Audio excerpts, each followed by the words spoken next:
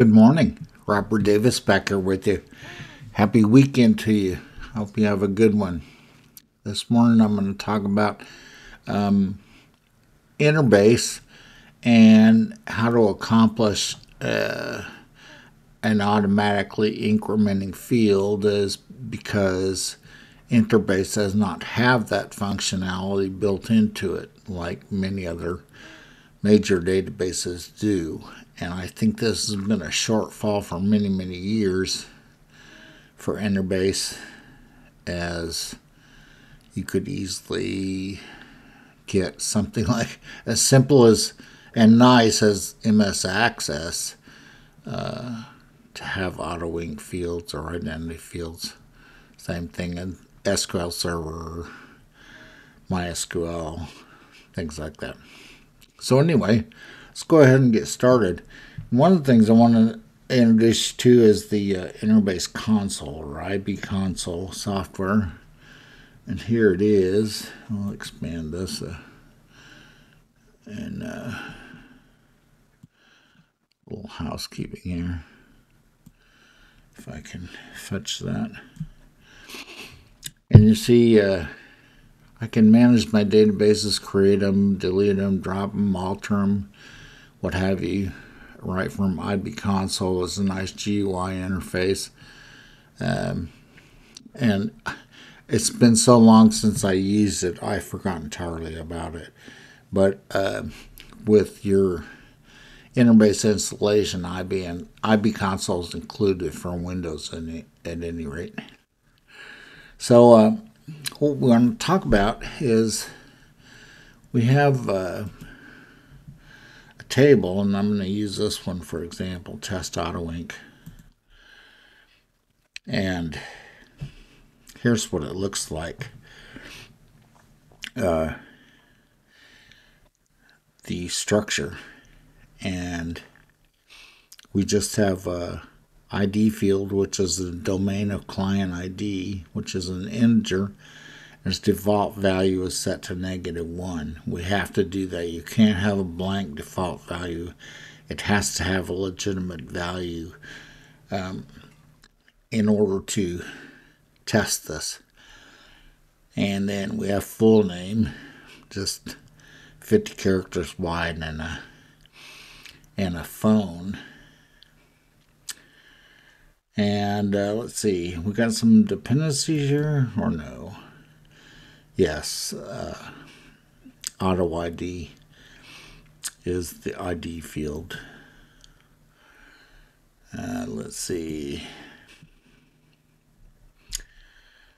Yeah, here's the metadata to uh, build, or the data definition language, whichever you like, uh, to build the trigger and uh, to store the values and whatnot. So we'll get back to that in a little bit. Um, we'll look at the data. Sorry to close that. And here you see. Now, this these two negative ones were before I figured out how to uh, sew this um, AutoInc or next gen uh, field into it, and then I started with my lovely sister Sharon. I went up to uh, some funny names. Anyway, uh, so this is the next gen field results right here, 1 through 6. And let's try inserting a record. You see it defaults to negative 1 because that's the default value. And we'll say Timothy Robbins 444 dash 2345. And you see it's negative 1 because it's not committed to the database yet. It didn't fire all the uh, things to it. But we're going to press commit right here. And you see it gets number 7. And Uh, we can go over here to see generators. Yeah, and so it, sets the value, stored value, for Gen Next ID to seven. That would be Timothy Robbins' record. In preparation for another record that would be number eight, and so on and so forth by a factor of one each. And then um, here we have uh, the existence of the trigger ID auto ID table name active yes.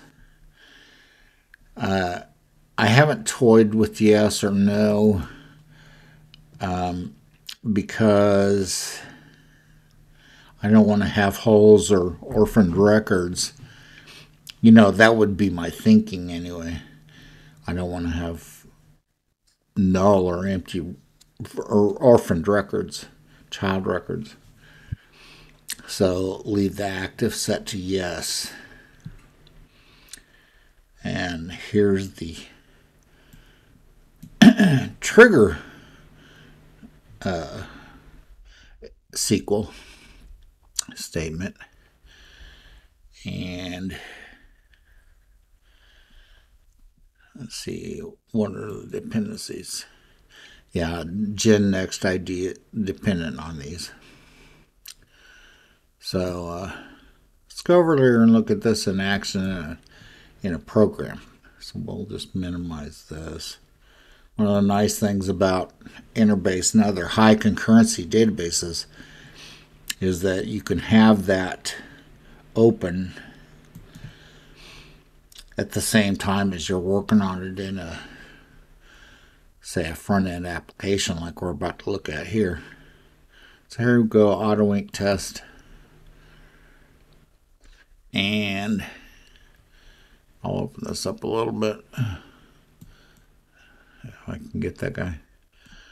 Uh, so I have a um, UniProvider uh, interbase UniProvider, which doesn't require anything. You just drop it on the form. And then you put a UniConnection one and do the connection editor, right click on the component, and here you get to select the things that you need. And this is really all you need. Um, the default port for Interbase is 3050. And the default login is this sysdba in all caps and master key in all lowercase. And then I set this to my test interbase. And connect. That's okay. And then UniTable 1, uh, it gets the connection. It, it They default put that in there for you. And then here's the table selection, and we're using test AutoInc. And then here's the data source for the data components on the form. And uh, let's see what else. And the data navigator set to data source one. So we run this. Remember our last ID number was seven. So we'll run this wait a second. And let's add a new record. And we'll say this is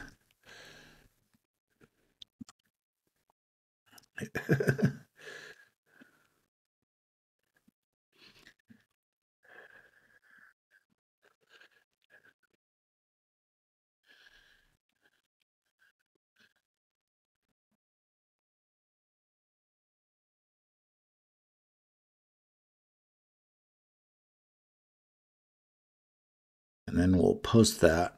Notice I don't have the ID field showing because that's taken care of by the database engine on the back, back end. Uh, and so we'll add one more here and put uh, Moon,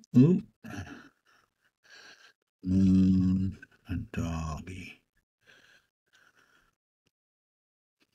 If I could type.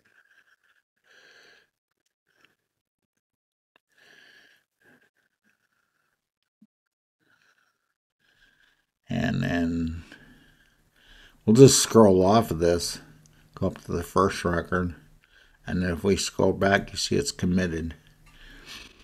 And like I said, we don't need the ID field on the form at all or actually in the application at all.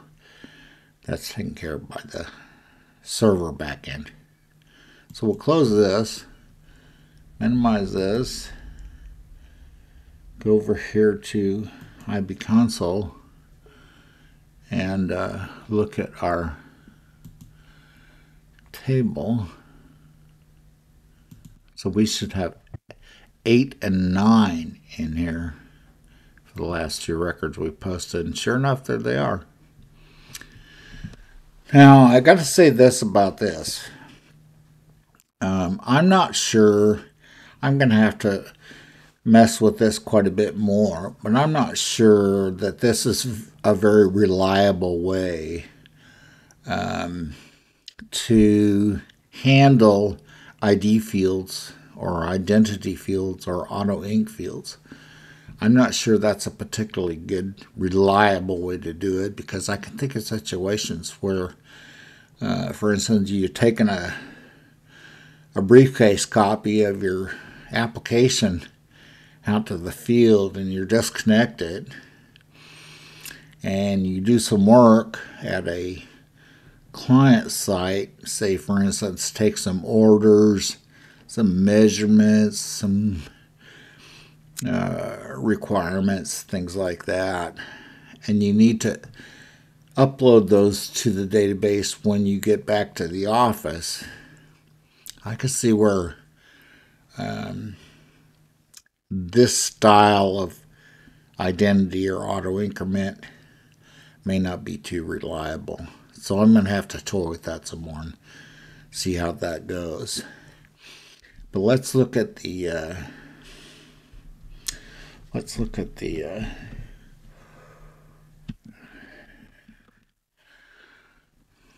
this is what we do. You just uh, you open an SQL window with this guy right here against the database. You can select anything in this database. You open an SQL window, and this is what pops up. And you enter your SQL here. And in this particular case, the SQL that you insert is this. I have it here in Notepad. So you create a generator and give it a name, gen underscore next ID. And then set gen generator gen next ID to zero. Well, that was when I initially got this running. So, uh, what it's stored at right now is number nine, waiting for number 10 and above. And then we create a trigger called uh, client's auto ID for test AutoInc. And we do this on a before insert. Uh, test whether the new dot ID field is null or equal to negative 1. Either of those cases are true, it sets the new ID to this function gen ID, this function here. Uh, and here's the parameters gen next ID and 1.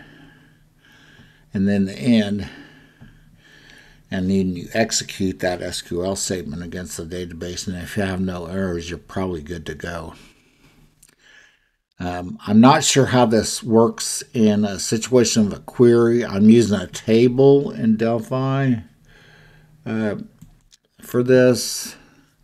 As you see, um, I'll play with it and see about if it works with good with a query or not.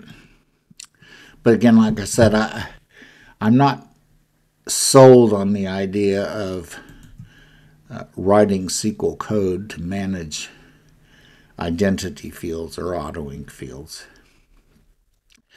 But uh, this is the case. Let's look at that uh, um, SQL again. And uh, that's all it takes.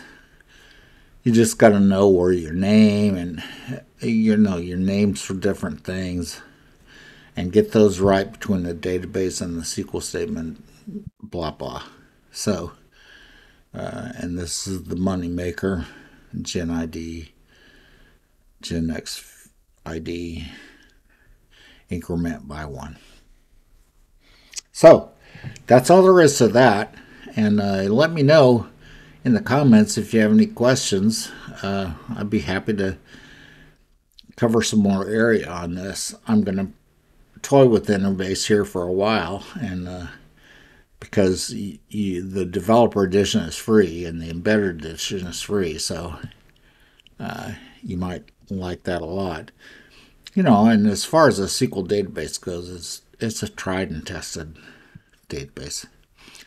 So that's all there is to that. And let's get this one more time. That's the console.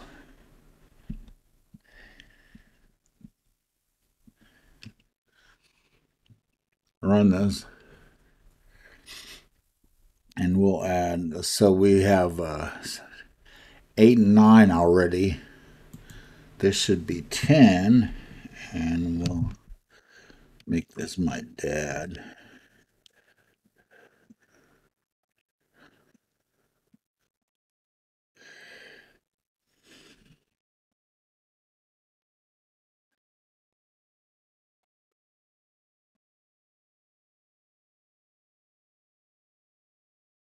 and post this and then check out uh,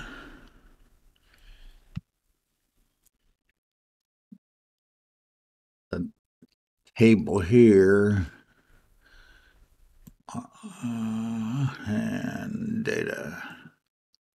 Sure enough, there it is 10 Hubert Davis, blah, blah, blah. So don't try to overthink this. And you know, if you find this a reliable method for your case, your use case, uh, let me know in the comments. And I appreciate you spending this time with me. I've enjoyed doing it for you. My name's Robert Davis, and I will see you in the next tutorial. Thanks. Bye.